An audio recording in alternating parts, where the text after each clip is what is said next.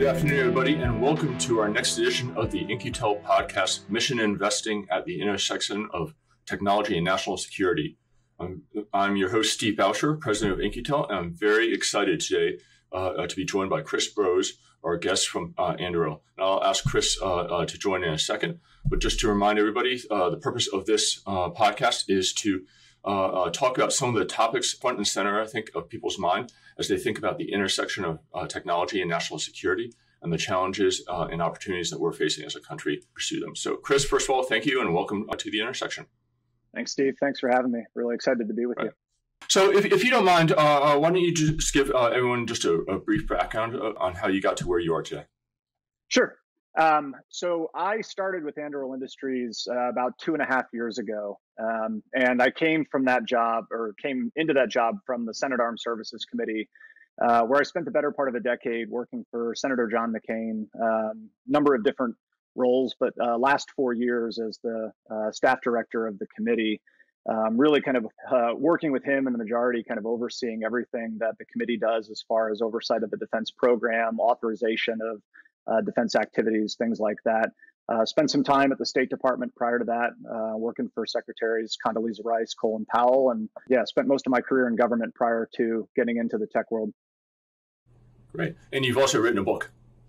Uh, yeah, in my copious free time, I did a book. Um, so yeah, uh, massive oversight on my part. Um, yeah, about a year ago, uh, published a book called The Kill Chain, really focused on exactly what you highlighted at the beginning, kind of the intersections of uh, advanced technologies and national security. And, and, and, I gotta be honest, I, I love the book. I read it when it first came out. I bought a bunch of copies and gave it to some CEOs for Christmas gifts because uh, I think it really does speak to everything that we're thinking about and, and doing here today and, and, why this podcast exists. So I'm really excited to have you on board and, and, appreciate you taking the time here today. Before we get into some of the book and some of the ideas about the books, though, uh, I think everyone's uh, always interested in sort of careers and, and human stories. So so tell me how you spend your time, you know, uh, sort of the bulk of your career in DC working for different government positions, and then you, you make the jump to a California startup. Tell me about your thinking there and, and how, how, how has that experience been? Yeah, I mean, my, my my life has been sort of a series of like interesting kind of breakpoints and intersections. I mean, you know, when when I was in college, I was focused on political philosophy and things that had nothing to do with the things that I'm doing now. And and my senior year in college was 9/11, and that really kind of took me down a different path, and it's the path that I've been on ever since. Um, you know, in in my time in the Senate, you know, I became increasingly concerned about you know kind of America's position uh, vis-a-vis our competitors, vis-a-vis kind of the pace of technology, um, and just the the belief that we were increasingly falling behind. You know, I became increasingly interested in the sort of I think the importance that advanced technologies are going to play and enabling us to kind of move uh, in a different direction, kind of move uh, farther ahead and and really you know i wanted a different challenge. I wanted to uh, be more involved in the development of these technologies you know be at a place where they were really being built um, and and frankly just kind of be challenged in a different capacity. I wanted to to leave government. I felt like i had uh, done uh, everything that i wanted to do in the time that i had to do it um, and I and I really wanted to be uncomfortable again. I mean, I wanted to be challenged. I wanted to grow, and most importantly, I wanted to focus on a place that was kind of fundamentally aligned against these future problems and future technologies. Uh, that's great. And so, uh, uh, two years in, uh, what's the biggest difference between working on Capitol Hill and working for a startup company? Uh, where to begin? Uh, culturally, obviously, very different. I mean, I've had to. I guess I'd say like I've had to reset my whole understanding of time. You know, in the government, you know, whether it's Capitol Hill or the executive branch, you you tend to sort of think about things on uh, much more elongated timelines. Um, and I think in a startup company, the, the kinds of things that we can do in days tend to take the government, you know, weeks, months, years in some cases. Uh, and, and just the, the sort of seeing how fast it's possible to make the kinds of progress that we're making at Anduril and the other companies are making in the sort of uh, startup technology world uh, has just fundamentally realigned my own belief of how available these technologies are now and how quickly we could be moving uh, if if the government accelerated its approach to these problems. Well, I think that's great, and, and, and, I'm a firm believer that you know we as a country would be better off if we had more people that moved from government to startup, and more people who moved from startup to government, and we had more cross uh, uh, collaboration and, and cross uh, uh, working, if you will. Uh, in, in, those areas. So I, think what you're doing is great. And, and uh, again, you know, just another reason I'm excited to have you on, on board today. So uh, uh let's get into it. So tell me about the fundamental premise of uh, your book, The Kill Chain, which is also, I think, in some ways, the fundamental premise of Anduril, you know, in, in, terms of where we need to go as a country in our, our nation state competition with China. Yeah, I, I, guess I'd say the fundamental premise is you can be sort of boiled down to disruption. You know, a lot of the conversations that I feel like we've been having around technology, national security, China, uh, have, have really been kind of framed around innovation, um, sort of a need for innovation, a failure to innovate, those kinds of things. And I, I feel like a lot of times the question of innovation is the wrong way to frame it because it tends to sort of uh, denote or get used a lot to sort of suggest, you know, kind of using better versions of the things we have to do better versions of the things that we've been doing. Um, like if you were to ask the French or the Poles in like the 1930s, they would say that they're really innovating in like fortifications and horse cavalry, and they still got run over by this disruptive capability called blitzkrieg. Like I think the basic premise of of the book is we have been systemically disrupted in our national defense enterprise for about the past generation, um, disrupted by a pacing threat in the form of China in particular, um, but to a lesser extent other competitors who have just fundamentally gone to school on the way we build our kind of national defense enterprise, our military forces, how we operate them in competition, crisis, and conflict, um, and have built up and sort of modernized kind of different advanced capabilities to really try to deny us uh, all of the things that we kind of fall in on, the assumptions we make, the capabilities we've built, the ConOps we've used, sorry, concepts of operation, um, to really deny us the ability to operate the way we want to operate uh, and achieve the goals we say we want to achieve. And then on the other hand, you've got uh, a fundamental disruption that's been playing out in the technology world. Um, you know, where the pace of technological advancement, largely in the commercial world, uh, in my opinion, has just really kind of left the defense enterprise in the dust. And I think you kind of put these dual disruptions together, and really kind of the question that I'm wrestling with in the book and every day since is how do we disrupt ourselves? How do we create incentives, sort of systemic incentives in this very weird thing like uh, what my old boss used to refer to as the military industrial congressional complex to actually generate disruption and, and, and get it to scale. Yeah. So, so one of the concepts you, you wrote about in your book that resonated with me was, you know, we are very good at preparing to fight yesterday's war. Uh, uh, we're not very good at preparing to fight tomorrow's war. Can you just maybe elaborate a little bit on what you mean by that? Yeah, I mean, I guess it, it really comes down to how we think about the future and and this is like an inherently difficult thing for anybody to do right? Businesses athletic teams you know everyone struggles to think about where their industry is going. Um, i think it's doubly hard in national defense because um, you know in the absence of actually fighting wars it becomes very difficult to sort of assess yourself and determine you know am i really ready to do the things that i might be called upon to do in the future?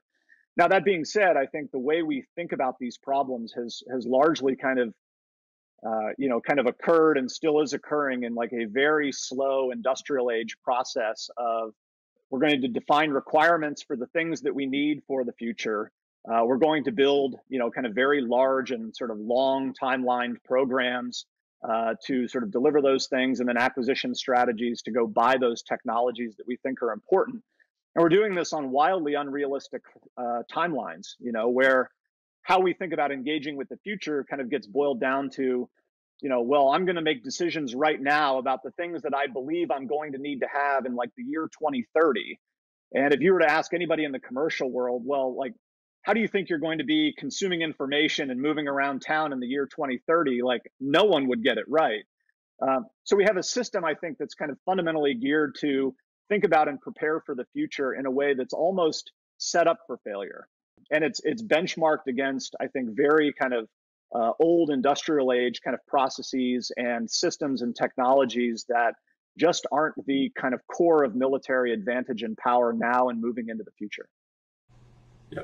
So you, you make a similar point to one that I've made on a couple of these shows previously. I just want to get your, your take on, which is, you know, I think we've entered into a nation state competition with China. I don't think anybody would dispute that technology is going to be a strategic lever in that nation state competition. China uh, uh, certainly realizes that and has a huge uh, uh nation state technology strategy, if you will, that brings together a civilian military fusion to execute on it. And the United States has been in previous nation state competitions where technology has been important uh, uh, in that competition. And I worry that principally, you know, with, with, Russia in the Cold War. And I worry that what the United States is doing is they're trying to take that playbook and run it against this new uh, conflict with China. And that playbook, I think, used to be we're going to take a bunch of money, we're going to fund some very basic research to develop some hugely expensive but dramatically uh, uh, transformative capabilities, whether that's uh, uh nuclear weapons or missile defense systems or you know uh, uh, the race to the moon. And we're going to transition that technology from the research into development and deployment through working with some big system integrators that only build directly for the government. And yet, if you look at what China is doing and what China believes, I think this next uh, conflict is going to be all about. It's going to be all about what I think we call dual use technology, right? It's technology that's developed both for the commercial world and for the uh, government uh, markets. And unless you're developing that technology for both markets, you're not going to push the technology to its uh, furthest uh, uh, or greatest point of development, right? And so it's things like artificial intelligence, autonomy, sensors, cyber, bio, batteries. Those are the technologies we're going to be uh, competing over. And if the United States government is not accessing those technologies that are being developed for the commercial sectors as well as the government sectors by companies like Anduril, you know, and, and others, we're not going to uh, uh, be at our best in this nation state competition. I'm just kind of curious uh, uh, what, what, your take is on that. No, I, I, think I think the premise is fundamentally right. I mean, if you if you just look at the structure of uh, you know how research and development dollars are being spent and deployed in the United States right now, um, that Cold War model that you mentioned, where the US government was really kind of the driver of research and development, science and technology uh, for these critical technology areas, uh, that's just not the world we live in anymore. Um, like government investment, such as it is, is just dwarfed exponentially times over by the investment dollars that are going into technology development in the private sector. Um, so I think the real question for government is exactly the one you mentioned. How does government create the incentives to actually bring those technologies in um, create you know kind of incentives for them to be applied or modified uh, or developed in totally different ways for the very specific kind of national security missions and use cases that the government is going to have to undertake but increase the velocity at which that happens um, so that you're not you know sort of thinking that uh, the best thing that you've got today is the thing that you're then going to you know have for the next 10 years uh, but create more of a marketplace of competition where the thing you have today you assume is going to be outcompeted and disrupted by uh, the thing that is being developed today and that you're going to have access to tomorrow. Um, that's the thing that I find is just so lacking in the U.S. government is incentives for meaningful disruption and competition, um, and the ability to get you know kind of winning capabilities, differentiated capabilities to scale quickly. You know, we tend to do a lot of small science projects. We kind of dabble in a lot of different things, um, but really getting government investment behind the deployment of technology uh, that is working, that has been proved out, whether in the commercial world or in the defense world. Um, that to me has been a, a, systemic failure of our defense enterprise over the past 25 years or so that we have to correct, uh, or everything is going to kind of continue to go down and die into this proverbial valley of death that we talk about. Yeah, no, th- those are great points. The other aspect here that we haven't talked about much is where is the technical talent in the United States? You know, my, my father-in-law uh, uh, graduated from Caltech and then uh, got his PhD at Stanford, you know, electrical engineering, and uh, went and worked for a series of defense contractors for his entire career people like him today that are graduating, you know, schools like Caltech and Stanford and MIT they're not going to work for the defense contractors, unfortunately. They're going to work for startup companies uh, uh, uh, like yours and, and, and, and, others. And if we want to access the best and brightest minds, I think we got to go to those companies where the, the, the best and brightest people are working and, and, get them excited about and motivated to, to solve uh, uh problems for, for the U.S. government. Yeah, and, and just to add to that, right? I mean, I think we've we've we've seen exactly what you've said play out, where you know, kind of the best minds of my generation have gone off to write, you know, advertising optimization algorithms uh, in the tech world. Um, perhaps an interesting problem. I don't think the most important one. I, I think the question for the government is how do you create incentives for those types of people who, who more often than not, in my experience, are very open to doing national security work. They're excited about the hard problems. Um, and, and what they really want to see is, is there a path for me to be personally successful, for the company that I work at to be successful? Uh, can I make a successful career doing this work? Uh, and so often, I think in the past, you know, 20, 25, 30 years or so, more often than not, the answer has been no. Um, so folks have been voting with their feet to go do work where they can work the way they want to work, they can get rewarded on a faster timeline, they can be successful based on their merits. Um, we've got to find a way to kind of create more models uh, that make that kind of work appealing inside of the national defense world. Um, you know, where where they see a path to success on a relevant timeline. So uh, another one of your points in the book that I wanted to touch on, and, and, let me see if I can summarize it and correct me if I'm wrong, uh, uh, uh, is I think the idea that the United States is interested in funding a few small number of uh, highly expensive, long time to build, exquisitely capable, but highly manned systems or platforms, whether that's you know aircraft carriers or fighter jets or satellites, you know, in the sky and that's how we project force, and that's how we've overwhelmed, you know, sort of the adversaries for the last uh, uh, uh, uh really 50 or 60 years since we, we fought a, a, true world war. That's how we projected force and won those those battles. But China's following a different strategy, right? China's uh, building a large number of very quick to build, uh, unmanned, autonomous systems that they, they can afford to get some number of them destroyed, and they're just going to overwhelm us with, with numbers. First of all, did I get this premise right? And talk talk to me about the consequence of, of, of that uh, uh, uh, premise. Yeah, no, I, I think you got that basically right. Um, you know that that is the defense kind of program that we have today. I mean, it's largely characterized by exactly what you said, sort of smaller and smaller numbers of like really big, expensive, exquisite, heavily manned, hard to replace systems. And uh, exactly the disruption that we were talking about earlier that's been playing out is the ability to just put larger and larger quantities of systems, whether it's unmanned systems, precision strike weapons, uh, sensors all over the place to just network uh, and sort of sense make and understand what's going on, identify targets. Um, you know, that's the real disruption that's been playing out now for the past few decades. Um, and it's been visible to us, right? I mean, you know, put China aside for a second, right? It's been visible in what the Russians have done in Ukraine and Syria, what we just witnessed play out in Nagorno Karabakh. Um, you know, this is where I think these technologies are going, particularly when you have adversaries that are thinking creatively about how to employ them operationally.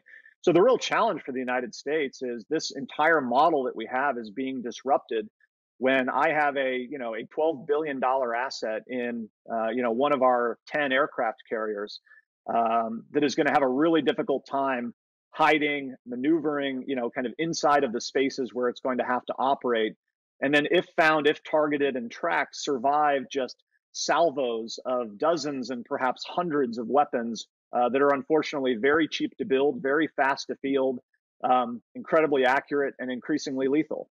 Um, you know there's lots of things that we can do to to try to you know kind of make that less bad.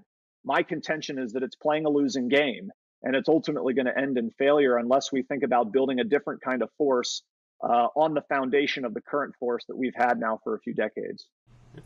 And if you look at the products and capabilities that the chinese are, are building these days they look and feel a little bit more like consumer electronics or Uh, uh, uh, business devices, don't they? Then they look like big military systems, right? And, and, I think that again speaks to the idea of where, where's the U.S. going to source technologies to compete on, on, those platforms? They're going to source that from the, the commercial sector more than they are from the traditional contractors.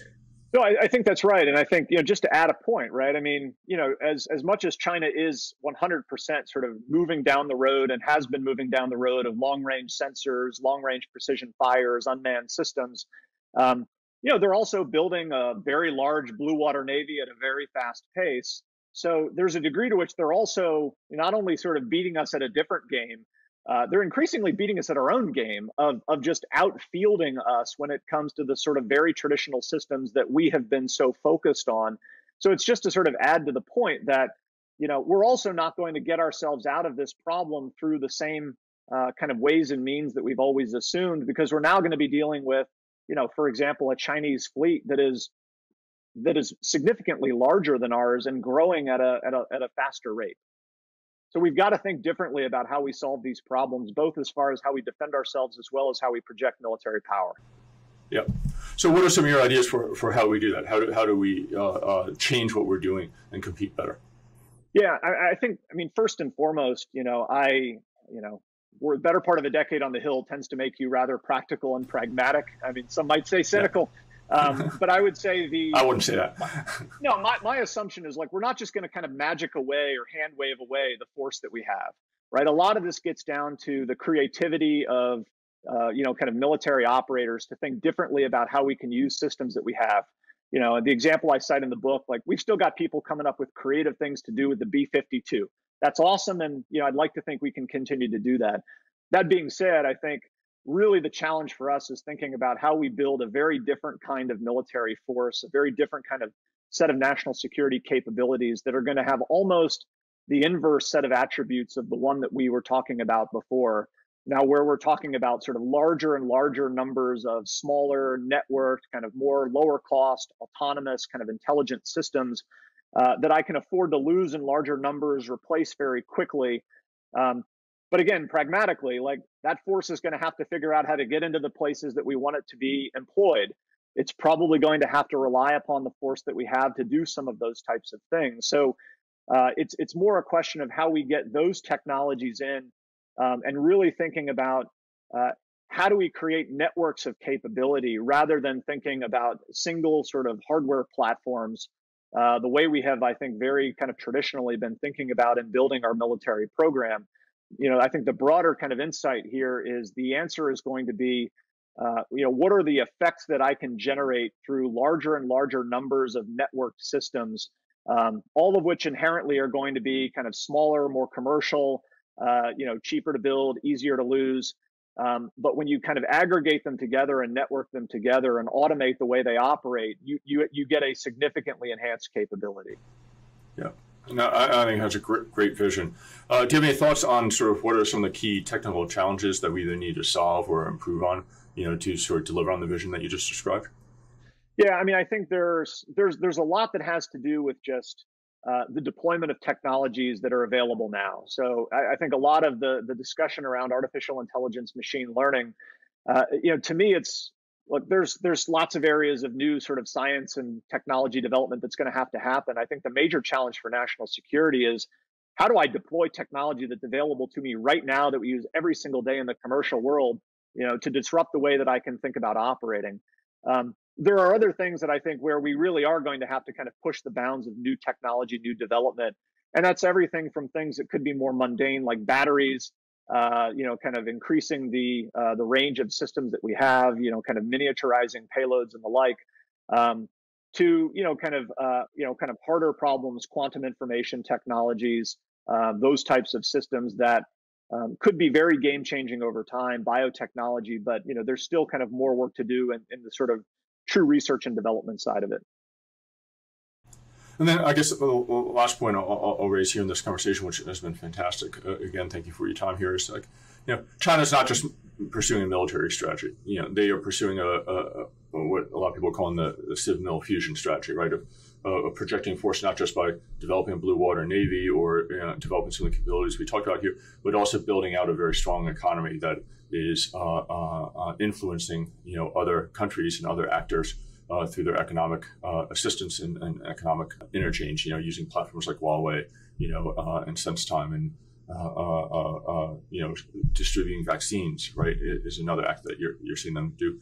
Talk about how everything we just talked about today fits into that larger strategy of the, their Civ, Civ Mil fusion strategy.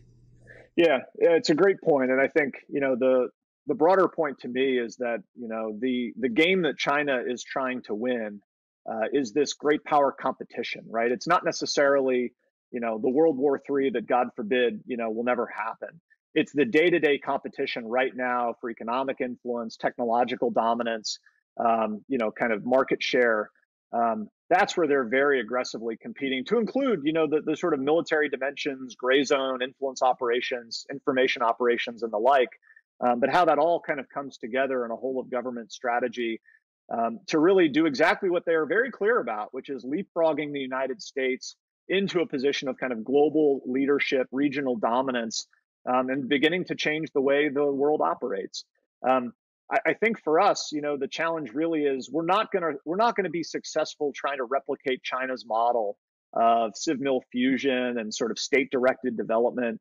Um, but we've got to be you know the government has to be more directive in terms of how it deploys its resources to create multiplying effects uh, whether it comes to you know kind of the economic dimension, trade and investment, um, technology for sure, um, so that we get you know a far better sort of public-private synergy without it being public directing private, um, but really kind of falling in on a model of you know I think American success that gets at the creativity, entrepreneurialism, sort of disruptive, critical thinking uh, qualities of our society, our economy, our people, to better align incentives where the government is sort of setting strategic direction and really creating the incentives for a mobilization of the country to to to, to be successful by competing in this in this great power competition.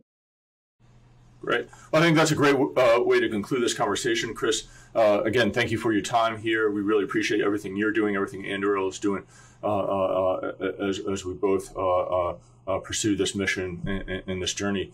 so, just want to say thanks for joining me at the intersection, and hope everyone here enjoyed our, our conversation. Thank you. Awesome. Thank you very much, and thanks everything that you're doing and In-Q-Tel is doing. It's hugely important.